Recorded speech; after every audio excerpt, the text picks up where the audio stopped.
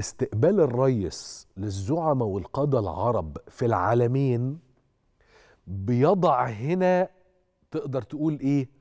مش هقول لك حجر الأساس العالمين بتتبني وشغالة وزي الفل وفي ناس راحت وقعدت وحاجة عظمة على عظمة يعني مش بس اللي أنت شايفه قدامك لا الجامعات اللي هناك شغالة. الطلبة بيروحوا الجامعة يعني طول الشتاء في جامعة ناس شغالة وموظفين بيروحوا وأساتذة ودكاترة ومدرسين مساعدين ومعيدين وما إلى ذلك. حلو؟ الصورة في رأيي أكبر وأوقع وأعمق من كده بكتير. الريس يضع ختما لإيه؟ مش لحكاية جديدة إلى إنه هذه المدينة ليست فقط مدينة مصيفية ليست هي مقرا صيفيا للحكومة أو للدولة. دي مدينة. مدينة الرئيس بيقول للناس اتفضلوا روحوا عيشوا فيها طول السنة.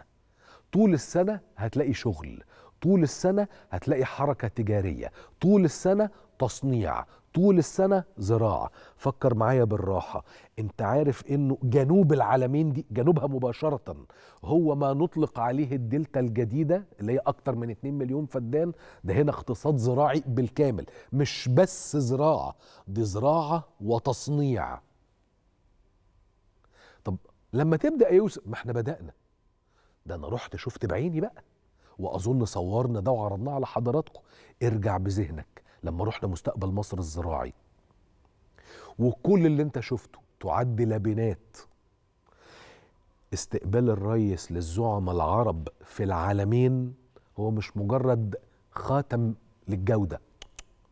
هي البداية بتاعت عيشوا في العالمين. اللي هيقول لك العالمين بتاعت الأغنياء مش فاهم حاجة. خالص.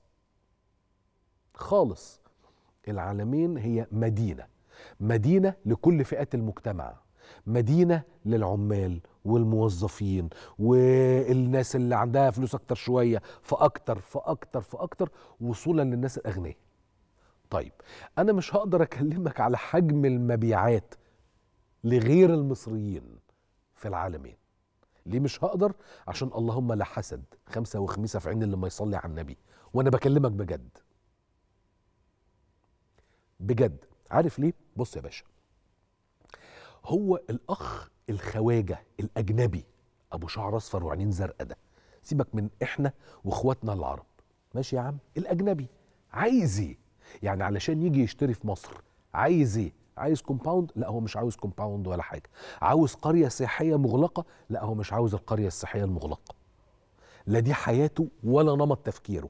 عايز مدينة صح ولا أنا غلطان؟ يعني أي حد فينا ربنا كده ساعده وبهبشه بقرشين وطلع سافر أوروبا وأمريكا. هو أنت شفت هناك compounds شفت حاجة اسمها تطوير؟ في حاجة اسمها التطوير. يقول لك إيه؟ هذه المنطقة تقوم بتطويرها شركة كذا مش عارف إيه برادرز مثلا يعني. لكن لا فيها بوابة وأمن واقف وحضرتك داخل فين وبتاع مفيش حاجة.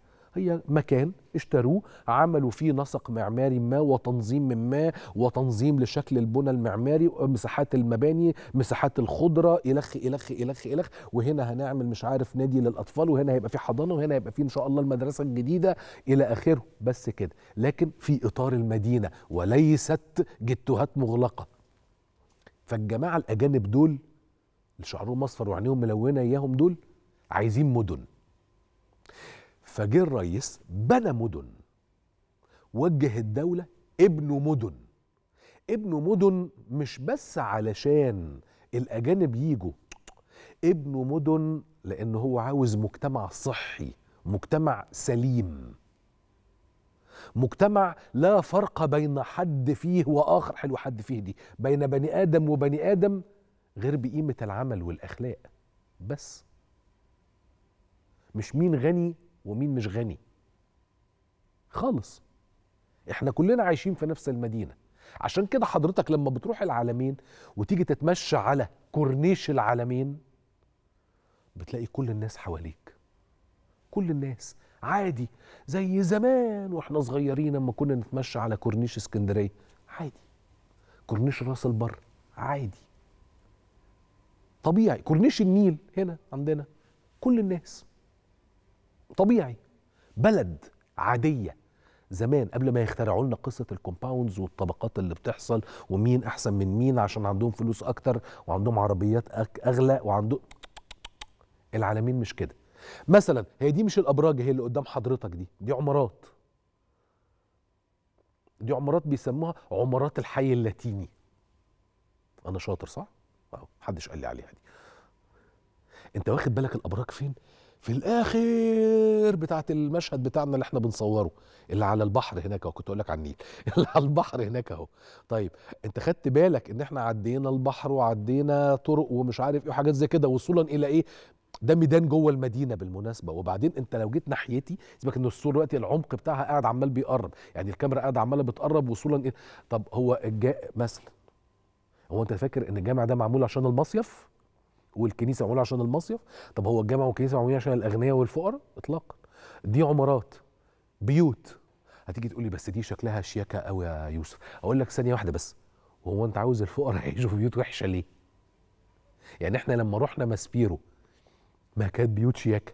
وهي هي نفس الأبراج الاستثماري هي هي نفس الأبراج الاجتماعي.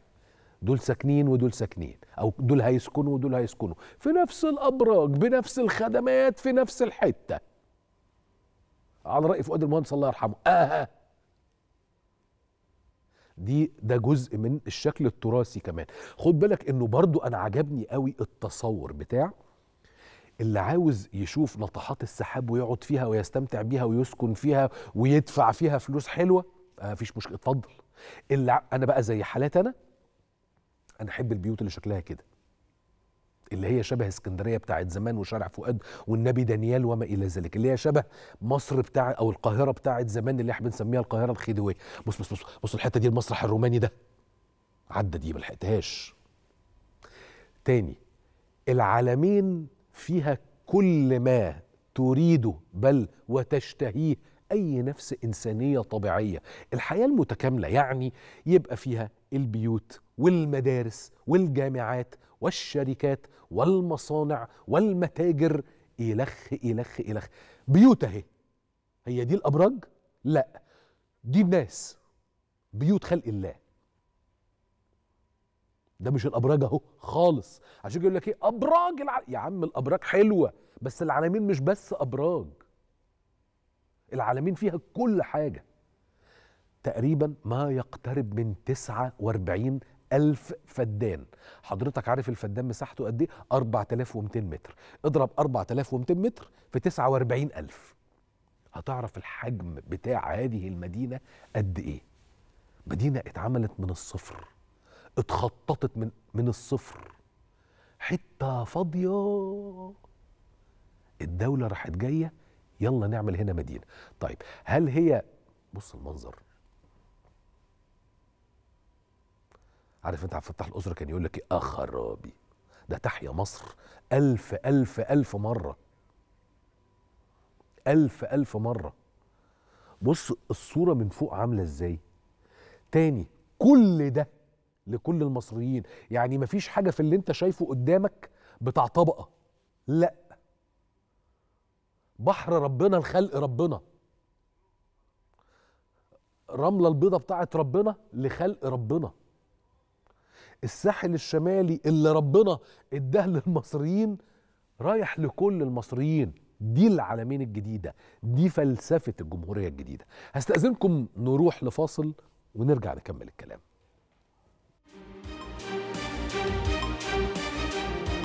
هنا أحلى مكان في الدنيا دي وما شفتش زيه في يوم فيكي سر غريب يا بلادي فيكي سحر ماهوش مفهوم؟ أنا منك وانتي مني أنا كلي لبلادي.